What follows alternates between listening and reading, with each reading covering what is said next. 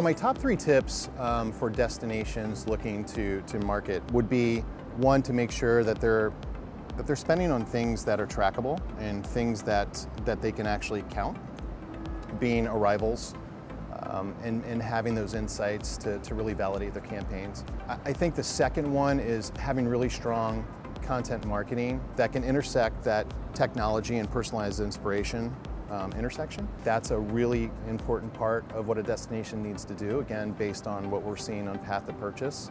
We have a really awesome report called a customer profile report, which we can actually show them when somebody hits their website, what did they do prior to hitting their website? Did they book a hotel? Did they book an airline?